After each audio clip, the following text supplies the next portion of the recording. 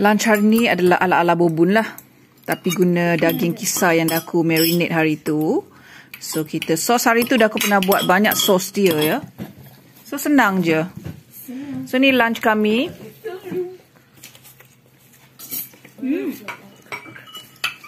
Banyak sayur-sayuran, ada toge uh, tanam sendiri, timun bukan tanam sendiri, ketumbar Jawa.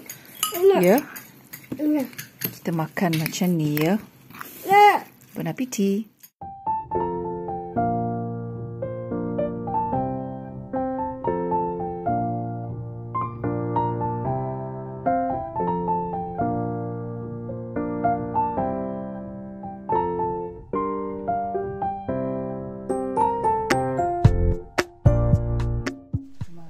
Toujours que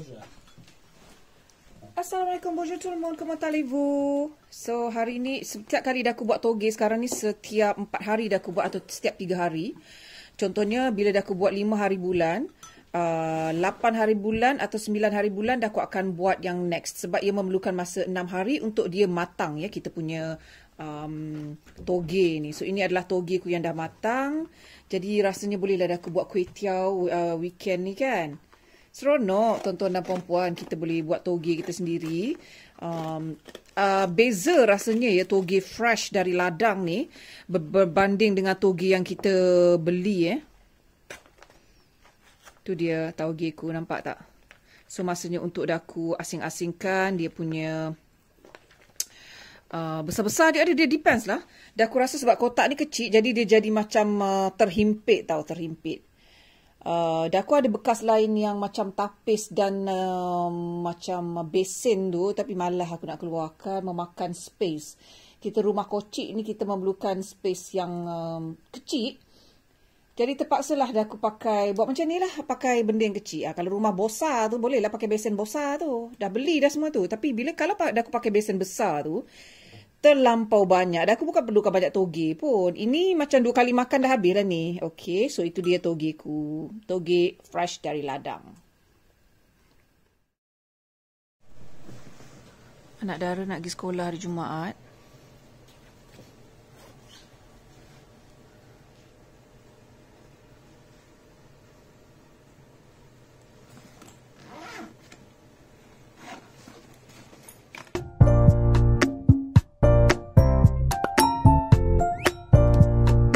Hari ni daku hey menguatkan semangat untuk masak ya. So ini adalah kentang yang daku tak buang kulit dia.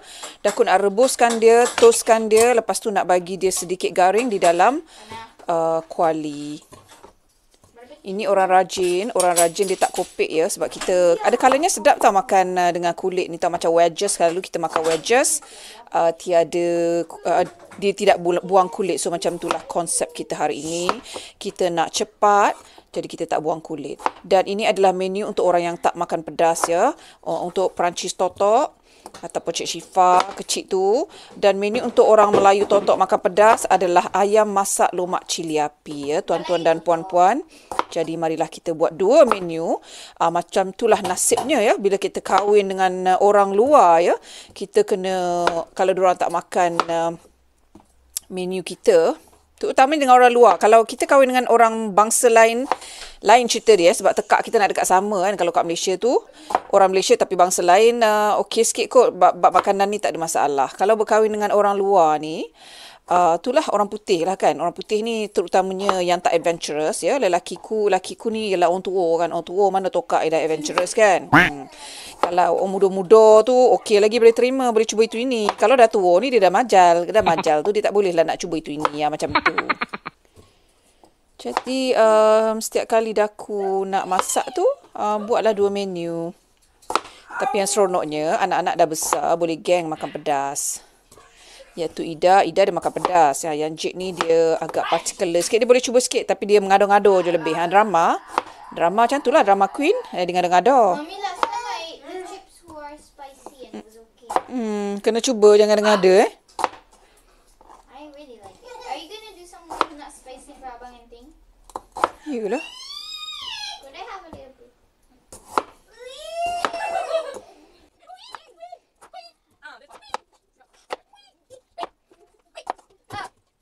Oh,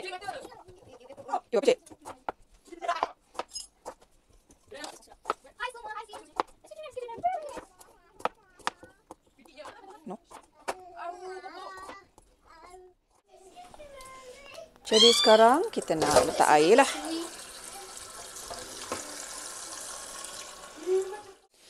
Jadi daku nak masukkan uh, marilah kita rebus ya dah, uh, kita punya kentang ni tapi daku nak uh, letak garam lah sikit. Bagilah ada perasa sikit kan. Jadi seperti yang aku cakap tadi, aku nak rebuskan kentang ni uh, agak-agak dia macam setengah masak something like that ataupun masak lah kan. Jangan sampai dia terlampau lembik. Lepas tu nanti nak letak dalam uh, frying pan dengan sedikit butter atau minyak. Butter atau minyak tengok lah eh. Tengok kerajinan. Uh, bagi just tak bagi dia garing. Sebab kalau dah aku buat macam ni terus dalam uh, kuali akan makan masa yang lama. Eh. Jadi kita nak percepatkan jadi kita rebus dulu. Dan sementara dia rebus tu kita boleh buat benda lain. Okey, dah aku nak gunakan minyak saja ya. Uh, tadi kata nak guna butter, no no no, dah aku gunakan minyak saja. Ini pun dah panas, jadi kita masukkan semua sekali macam tu. Menggunakan uh, spices yang dah aku ada, uh, guna je spices yang uh, apa je yang you all ada ya. Uh, tak kira dia tak ada tak ada restriction ke apa guna je apa. So, aku guna preserve uh, herba-herba kering yang dah aku ada. So you all gunalah nak letak garam je pun boleh terpulang kan. Ini adalah macam uh, herba-herba dengan garam kasar sekali ya. Seperti yang anda sedia maklum ini adalah channel Lintang Pukang ya dan kita masak masakan yang sangat simple. Uh, walaupun simple ya kita masih boleh memasak ya tuan-tuan dan puan-puan. Kita malas pun kita boleh masak. Jadi bila kita malas kita masak yang simple je lah. So itulah konsep aku punya channel ni.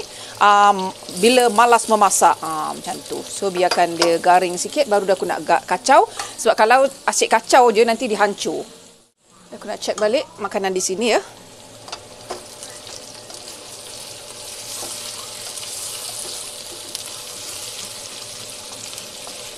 Yang sobona eh. Dah aku terlebih rebus tu roti yang dia jadi lombek. Lombek-lombek pun aku makan juga. Hmm, lombek-lombek pun sodap bila dah garing tu. Sodap ya. Tak ada masalah dah.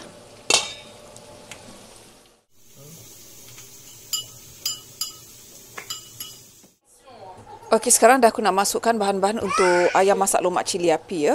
Uh, untuk pengetahuan anda, uh, sahabat-sahabat warih-warih daripada Nogo daripada Nismilan tu, ada uh, aku ni Nismilan colop eh. Tak semestinya tak apa yang uh, Dan masak ni ha sama macam betul-betul Nismilan. Jadi ini adalah Nismilan colop. Jadi resepi dia tu tak adalah original macam orang Nismilan punya tapi hidup Nismilan. Ni adalah satu bawang besar aku nak masukkan. Kemudiannya dah aku nak masukkan lima sahaja. Kita punya cili api lima sahaja ya. Takut pedas sangat kan aku pun dah tua-tua ni. Ha, makan podeh kan sakit buat aku kan. Melabu banyak kali pula kan. Lepas tu biasanya kita guna satu inci um, kunyit. Tapi dah aku tak ada kunyit hidup ya. Jadi dah aku guna uh, kunyit serbuk saja iaitu satu sudu kecil kunyit serbuk, serbuk kunyit dan marilah kita masukkan sedikit air. Macam tu, sedikit je tu. Banyaklah tu kan. Jadi kita bolehlah kita kisar dia.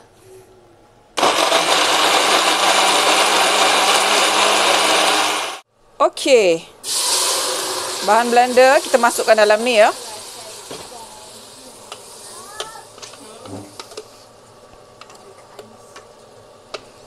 Dah aku masukkan uh, dalam uh, periuk yang dah aku dah panaskan.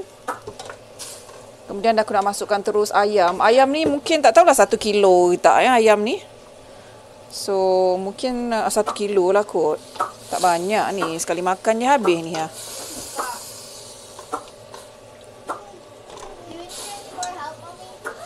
Just clean up what you did. Help me to prepare some nicely the table. Adam, dah apa lagi perlu dibuat Adam? Tengok apa-apa yang patut. Hazif, letap. Kita kacaukan. Biarlah, barulah proper. Gelas, semua kuber. Gaul-gaulkan bagi uh, bahan uh, kisar tu disebati dengan kita punya tu ya. Tak sabarnya aku nak makan ayam masak lomak cili api ha. Semalam buat live dekat YouTube, orang duk cakap daging salai lah, ha, salai masak lomak lah. Hei, korang sengaja. Betul eh. Lepas tu apa?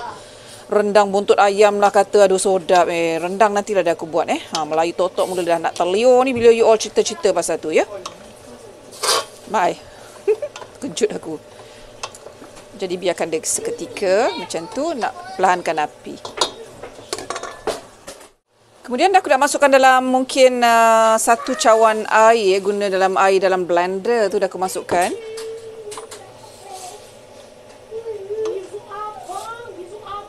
Jadi biarkanlah dia mendidih ya.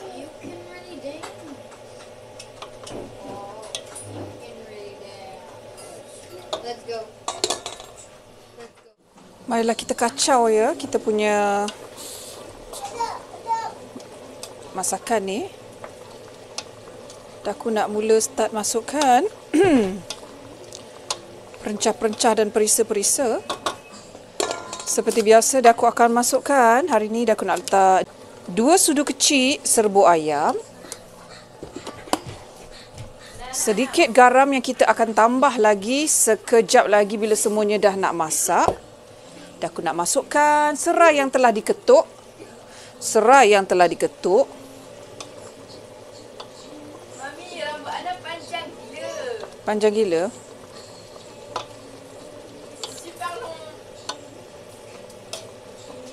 Kemudian dah aku juga nak masukkan dua keping uh, asam keping. Dan kemudiannya dah aku nak masukkan terus mana pula perginya gunting aku budak-budak ni buat ya. Dah aku nak masukkan satu kotak santan. Kita sini duduk di perantauan ni kita gunakan uh, santan kotak je ya you all. Jadi dah aku nak masukkan satu kotak santan. Ini adalah dalam 250 ml tak salahnya dah aku ya. Kalau tak salahnya. Jadi marilah kita kena sentiasa kacau. Kita punya ayam masak lomak cili api. Janganlah lupa kita punya perisa. Bukan perisa, bahan lagi satu yang dah aku hampir lupa itu ya. Okey, dah aku nak masukkan kentang. Itu adalah bahan yang terakhir. Ya ke bahan terakhir? Yalah kot. Kentang. Ah, ni kalau kentang walaupun podeh macam ni, saya ada makan lah sebab dia bersos.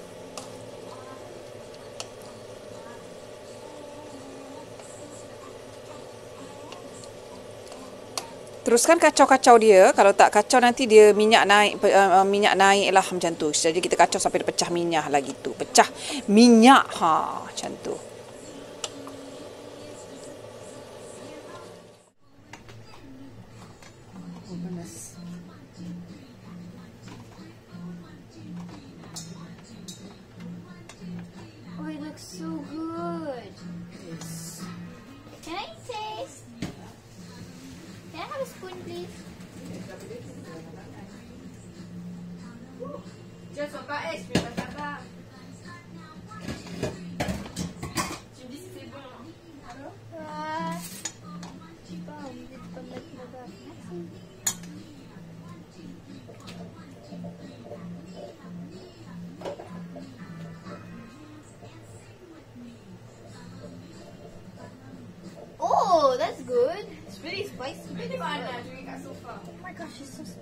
Ayam masak lomak cili api pula telah dipindahkan ke tungku belah sana. Oh, dah aku dah rasa ni memang ni kalau makan tak pandang pan, eh, tak pandang kanan kiri dah lepas ni ni ha. Lama dah tak masak ayam masak lomak cili api ni dah aku nak check dia dah uh, kentang dia dah masak ke belum. Kalau dah dah masak dah aku kena ketepikan sebab dah aku tak nak dia hancur belum lagi. Anda masak macam mana? Ini dah aku cara dah aku masak yang sempoi. Semuanya belajar sendiri ni. Uh, macam ni lah ya.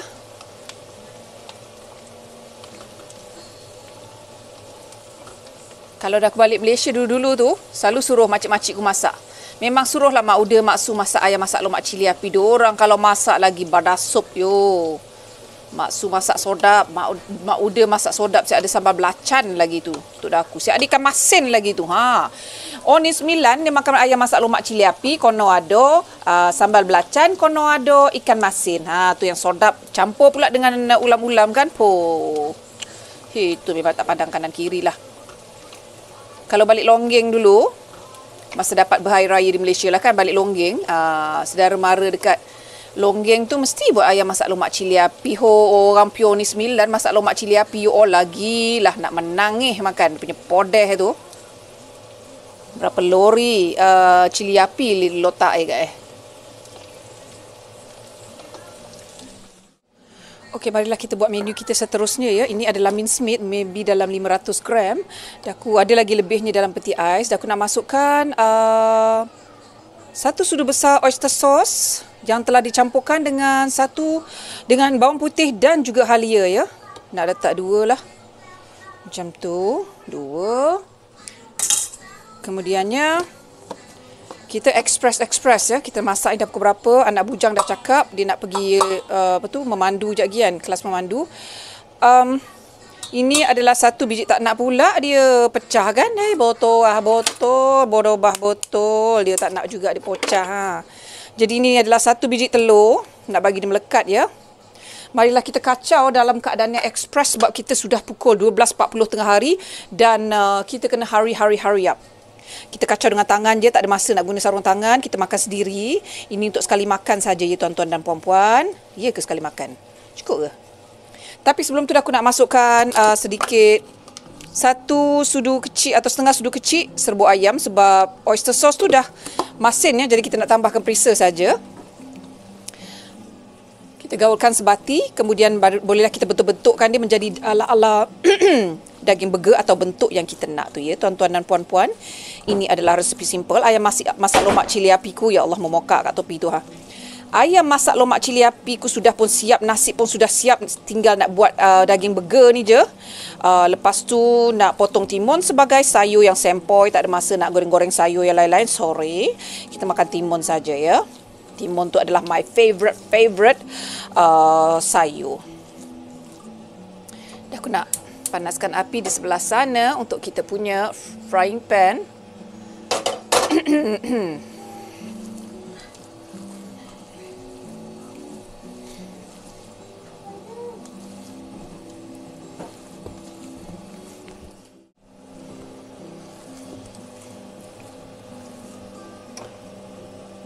Ini adalah minyak ya. Minyak sayuran. Kita panaskan dulu dia. Kemudian aku nak masukkan teruslah. Kita punya daging tu. Bulat-bulatkan macam tu. Suka hati nak buat bulat ke, nak buat berbola ke kan. Semuanya ikut cita rasa sendiri. Ini adalah hok jate-jate untuk kita sediakan hok jate-jate. Yang di sana sudah merayu-rayu dia nak makan dia dah, dah tak tahan. Merayu-rayu dia kat tepi sana. Cuma you all je tak nampak dia terjengkit-jengkit dia tu memandang atas meja. Dia tengok nampak ada makanan atas meja. Ya Allah ya Allah. Jadi um, dah aku bosa-bosa kan ah, mak aku kata orang yang buat bosa-bosa ni orang pemalas yo mak pemalas kita tak ada masuk mak oi. Cak minyak ni mak oi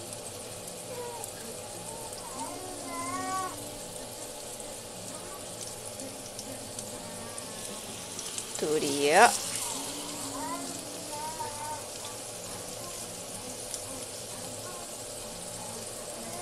Sebab masih ada ruang kek topi tu ha. Dah aku nak bulat-bulatkan lah ni. Bulat-bulat ni untuk Cik Cipa ke, Kak Jet ke, bulat-bulat tu kan.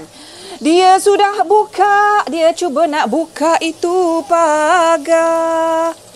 Dia cuba nak buka.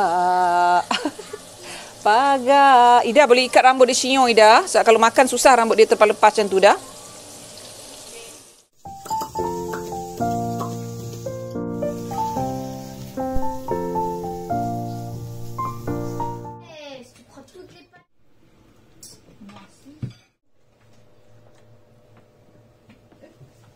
Bismillahirrahmanirrahim. Allahumma barik lana fima ruzaqtana wa qina azabannar. Amin. Tengok ni ya. Ayam masak lomak cili api oh, sedap.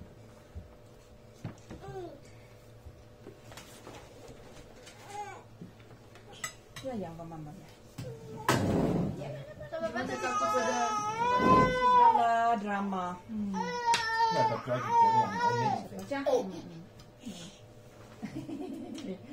Ngaum. Sudah tak? Sedap. Iya, sedap. Hmm. Buah. Senyum semua. One, two, three. Angka one, two, three. Okay. Bon appetit. Cik potong je. C'est quoi t'as fait la semaine prochaine Pomme de terre. C'est chaud, Anna, c'est chaud ma puce. Dia um, timun satu dah yang baru?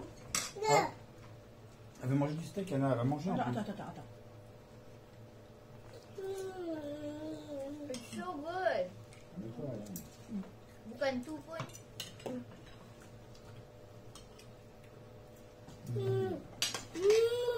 Riz avec, lui. C'est bon ça. T'as mis là Mila, Mila, Mila, Mila, Mila, Après.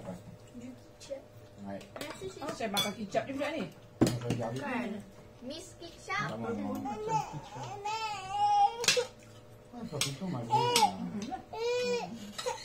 Pas Ni coconut punya. Dans une souris en bas. Coconut.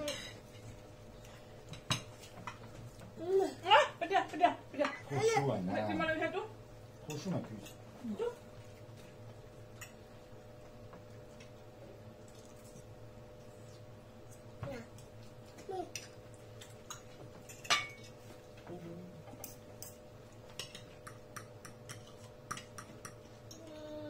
Quoi, dalam ni apa? Dia revient tout seul. Il veut il veut faire quoi, là Dalam ni uh, son son cours là. Driving class. Yes, driving class today. Non, mais. Il revient, il revient tout seul. Ça fait avant. 14 heures. C'est combien, là The rice is so good. On attend un point. C'est souvent un bus, c'est à 13h18. Non, mais c'est bon, non, je je- je m'en fous, je ai rien. D'accord, la peur, faut pas s'embêter. Ça sera du dehors. Non, mais, mais j'ai mal au dos là, quand j'ai porté, j'ai- je me suis tordu. T'as pas la feu. Toute la nuit, j'ai mal dormi avec le matelas de merde. Là. Ça va en vrai. En bas, je sens maintenant les trucs. hein. Hum. Je pense qu'il suffirait peut-être juste de changer avec le matelas de l'autre, non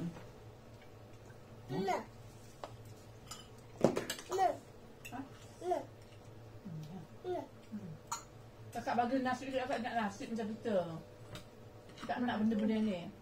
Ni lah. Nak kena nasi yang kita kan?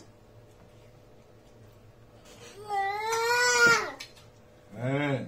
Walah, jangan mama bagi mama punya sikit dah. Ajax, c'est Ajax. Boleh. Hmm, nyam nyam nyam, agak. Yam yam. Bébé. Ya, pas quoi. rebus dia kejap. Lepas tu, le boss. dulu. Bui dulu. Lepas tu, um, lepas tu buang uh, air dia. Lepas tu dalam dampur lah, butter ke. Okey, tauge ku buat dengan sup ayam. Yang ni sup ayam. Sup ni letak berbola kan. Makan lepas tu letak toge macam ni pun sedap. You oh, so crunchy. Homemade toge ni memang best ah. Very crunchy. Dan dia last uh, longer time daripada toge yang kita beli kat kedai.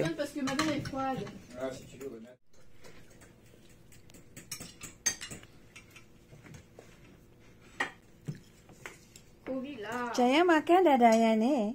Dia dayang-dayang mama ni. Ah, mais c'est même pas ta fourchette, ça c'est sa la fourchette mienne pour se